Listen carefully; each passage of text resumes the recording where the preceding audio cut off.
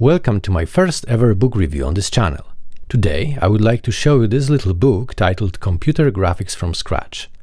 It's easy to dismiss it at first with its cute cover, shiny paper and colorful images, but don't get fooled. This book covers some serious ground and yields real results, like a fully working implementation of a ray tracer for example. The book is about one particular aspect of computer graphics, which is rendering three-dimensional scenes. The idea is simple. As the title says, you start from scratch. The author assumes that all your software can do is draw a pixel at the desired position and builds the rendering algorithms step by step using only this put pixel function. The book is divided in two parts. In the first one, we use this step-by-step -step approach to build a ray tracer. Ray tracers tend to produce quite realistic images with the shadows, reflections and so on. The code is quite simple, but the performance is slow. The second part talks about rasterization. This is a technique still used in video games and other real-time applications, where speed is king. While the performance can be an order of magnitude better than ray tracing, it requires more effort to produce pleasant-looking images. There is a lot of math here. You can see it just by flipping the pages of this book. It looks like a long series of equations and graphs. It does look scary, but let me tell you this. I was astonished what a great job the author did explaining the math. As the book promises, you don't really need to be proficient in university-level algebra or computational geometry. All you need is high school math and the book's appendix, explaining the basics of vectors and matrices in the simplest and most concise way I have ever seen. It does not mean you can read through this book in one evening and have a solid understanding of these concepts. You'll have to take a break sometimes, take a pen and paper, and go through the math yourself to really get it. I also recommend you do your best to implement the algorithms yourself. The author provides full JavaScript-based implementations on his webpage, but there is nothing quite like doing it yourself and seeing the results.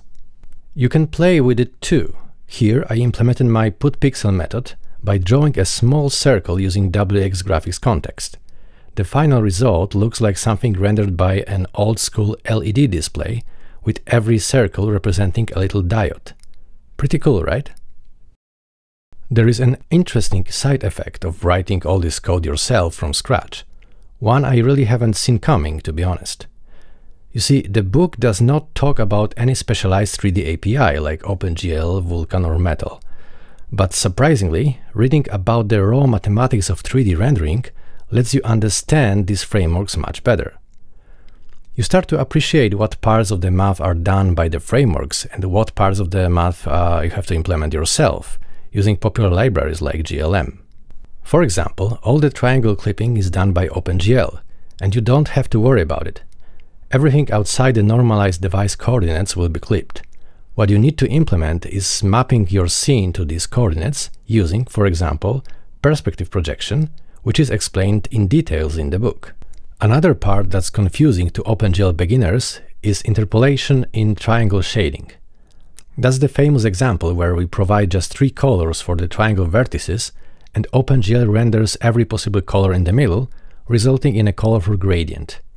The math behind this is explained in the book in the shading chapter. After reading it, you will have a very clear understanding of what's going on behind the scenes. But that's not all.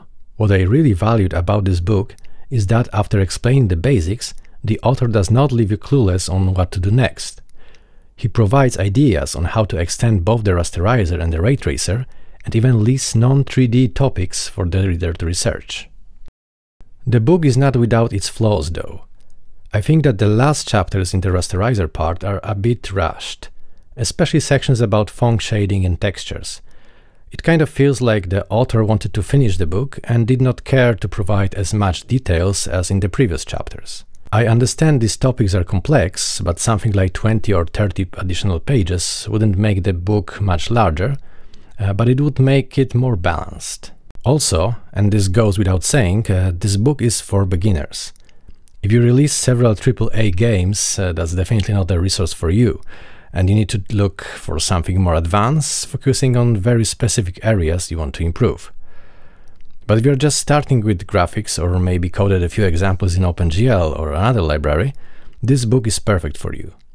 As I said, even though it does not mention any, any 3D API, you will gain a better understanding of how these APIs work under the hood, what role your own code plays in a rendering pipeline, and what computations are needed to render the final picture. So if that's you, I strongly recommend this book. It will greatly expand your understanding of computer graphics while being very approachable. Remember to implement the algorithms described and have fun with creating 3D graphics from scratch. Thanks for watching.